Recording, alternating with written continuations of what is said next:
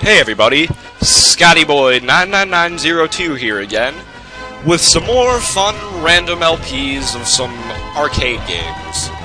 Now recently I got myself an N64 emulator, so I'm gonna show that off right now. Um, this is a game that I found for the N64, which sadly is for the most part lacking in good, solid arcade fighting games. This was one that I was able to find though. It's called Flying Dragon. It's really terrible, but fun in some sort of terrible way. So I'm going to show it to you guys. Okay, so there's... The weird thing is there's like a million different modes you can play in. There's this SD mode that you can play in where it's almost set up like a, uh, like, um, like an RPG sort of, and you can equip stuff to your characters. It's it's it's interesting. I might focus on that some other time, but for right now, we're gonna focus on the actual fighting mode of the game. So we're gonna click on that, um, and then you can change all the different battle modes. I tried both 2D and 3D, but it really doesn't make much of a difference. It's basically the same thing. I think the only difference is in 2D they can't sidestep.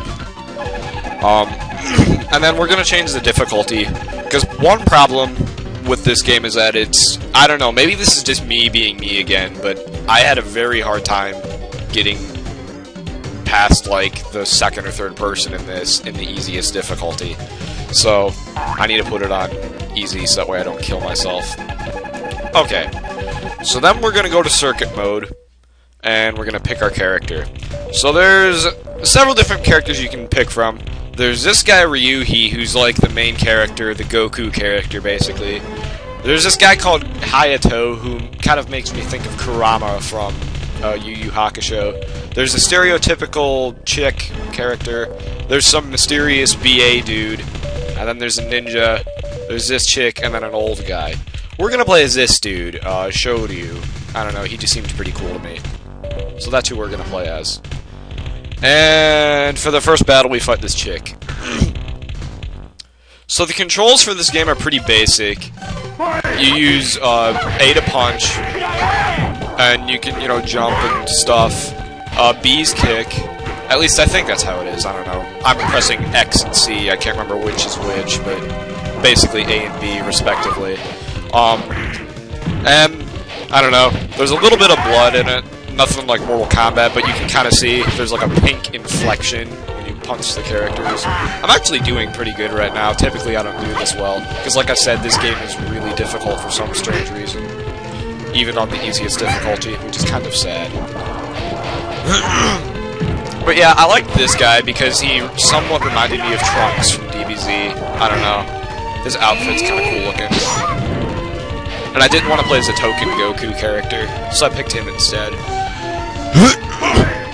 And I also assume that there are special moves and combos and junk that you can do, but because just winning itself is difficult enough, I didn't really bother to try and teach myself any of the combos. I'm just focusing on beating up the enemy right now. Um, you can also block, but one of my problems with fighting games is I typically don't block at all. I just beat the crap out of people as fast as I can. And as you can see right now, that's getting me nowhere there. I think I just blocked right there. I don't even know what button was I pressed. So as you can see, I'm terrible at this game. Oh... And it makes me sad. There really aren't any good fighting games for the N64 other than Smash Bros. and one other game that I'm going to show you after I play this one. Ugh! See if I can at least beat this chick. No! Okay, I almost beat her. We got one more round. See if we can take this in. Take it home. Ah! She keeps countering all my attacks. I'm basically just button mashing right now. I'm not using any sort of strategy at all. And button mashing sometimes works, but sometimes it doesn't. It really depends on the game mechanics.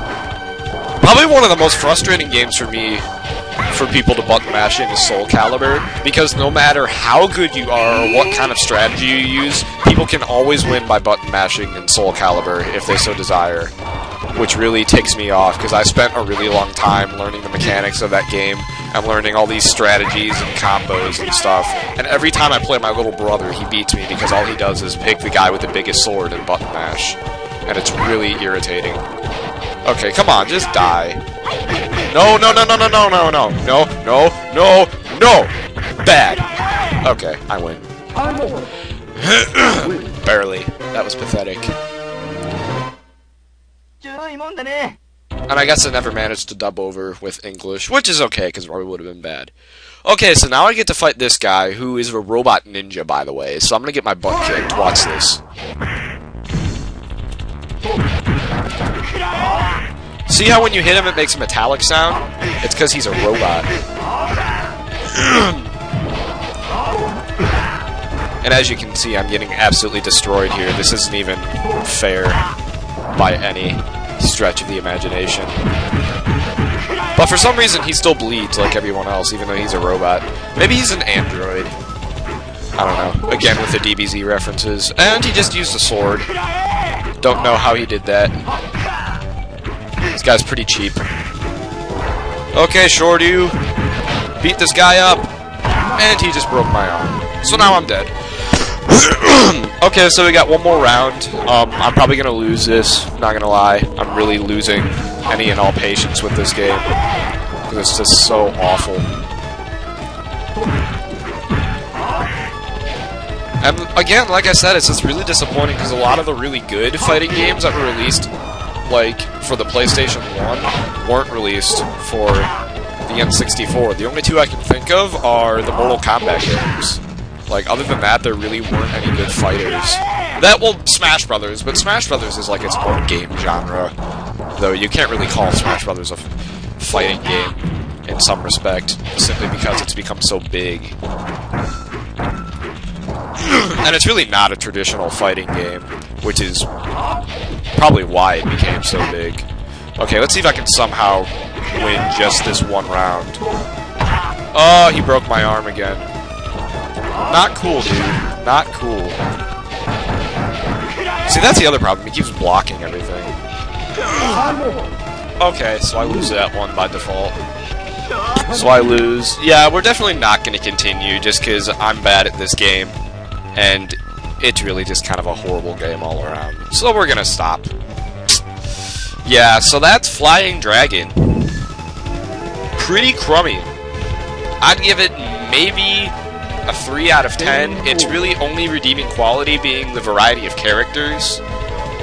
You know, the controls aren't bad. For its time, the graphics are okay. Um, but, you know, it's really not that good of a game. So yeah, that's Flying Dragon. Um, I'm gonna stop with this one, and then I'll show you another game that's much, much better that was a fighting game for the N64. I already kind of talked about it a little bit. Okay, so yeah, that's, again, Flying Dragon, everybody. Uh, I'll be back in a bit.